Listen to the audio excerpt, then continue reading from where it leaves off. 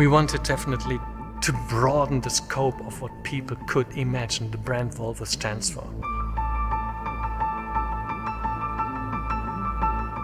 We bring something on the table which might be unexpected.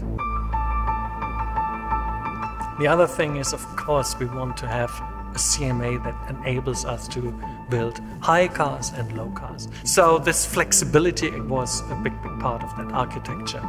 CMA clearly marks as well a time when we are shifting into a new era.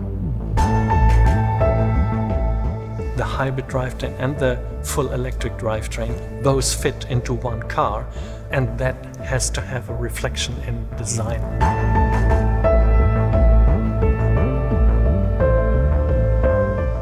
Has to be a family feel and flair around it.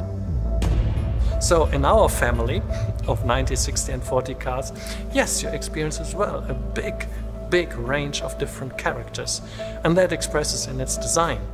Now if I go and ask our customer about certain needs and certain behaviors and we have to make the conclusion what is the right thing for the future.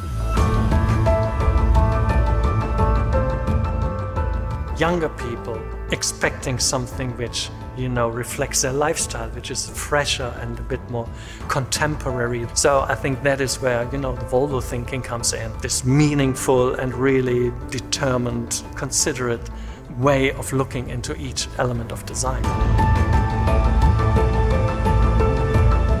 With the 40 cluster there are more edgy statements in the design there is a more expressive expression hey here i am you know, world, what do you have to give me? This kind of like provocative element in it.